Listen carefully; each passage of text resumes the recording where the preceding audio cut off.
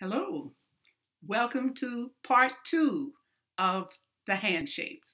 This is Alpha Wisdom, and this is the channel that tells you or teaches you how to read palms. Okay, and I'm Mystic Cassandria. I hope you saw uh, lesson 52. So this is lesson 53, part two of that same thing. There's much to be said about this one as with the others. And as we progress through this, there'll be more things to mention. But these are the major things or the main items of character or characteristics. Okay, so let's begin now.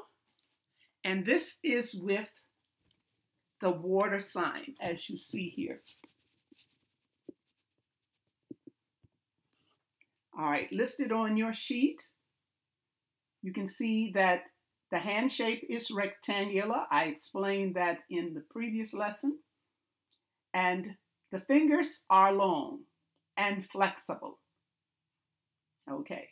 Some of the qualities, sensitive, intuitive, visionary, and moody.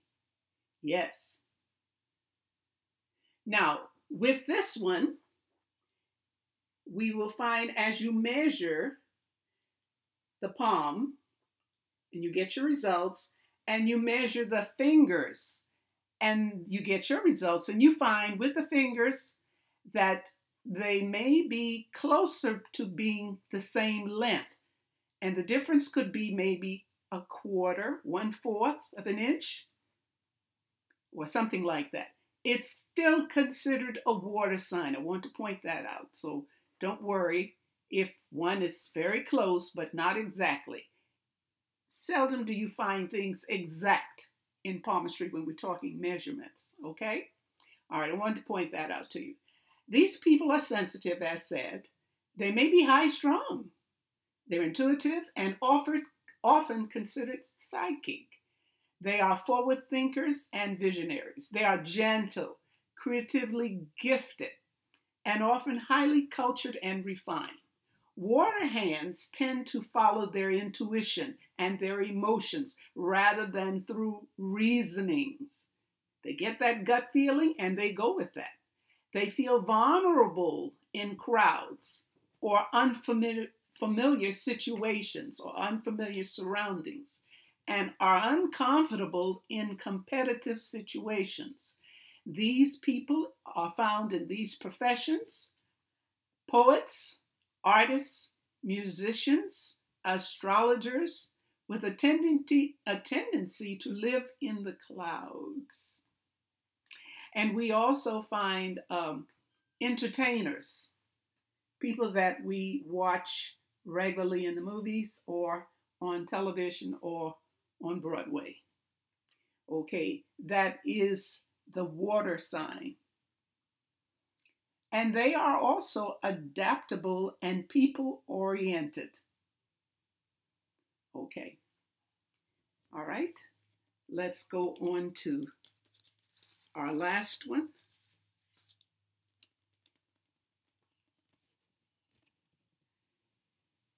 All right. As you see there, this is the fire hand. And look at the shape, rectangular fingers short. That is, they are shorter than the palm size measurements. They are competitive.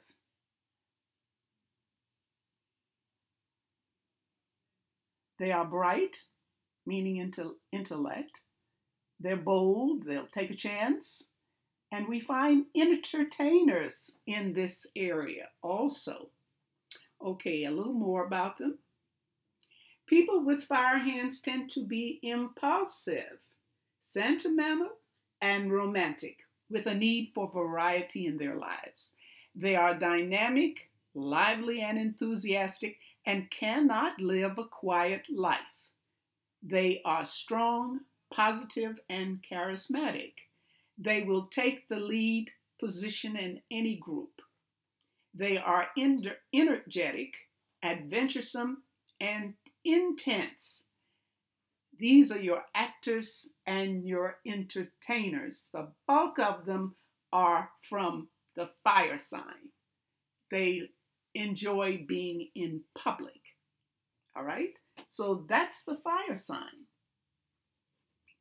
All right. Now, as far as the mixed signs, not all hands will fit into the pattern of one of the above types. A mixed hand will contain two or more characteristics or of another hand, uh, type hand. Often the hand is square in shape with fingers that are different from one another, shape and length. People with mixed hands tend to not stay in one place for long. They will move in different directions, giving the impression of being fickle. People with these hands are adaptable and flexible and mix well with others.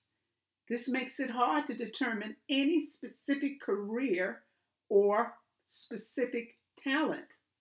If this sounds like your hand, find the characteristics that fit you and, the, and then determine what hand, shape, or element you are. And to do that, just look at the characteristics and see which characteristics you tend to fall under. Many of us are mixed or have a combination. All right. Well, I hope this was clear. I hope you understood it. And give a thumbs up if you liked it. There's so much to say about the hands. That's why it's always said the secrets are hidden in the palms or hidden in the hands. Yes. Okay. And if you have not subscribed, please give uh, take a moment to just flip the word subscribe and it becomes past tense subscribed. All right but thank you anyway i appreciate it and it just tells me that you all are interested and i'm so pleased believe me i am so pleased so thank you thank you. I also thank you for watching and i wish you a great day. It's getting hot out there so stay as cool as you can. All right? Until next time, bye.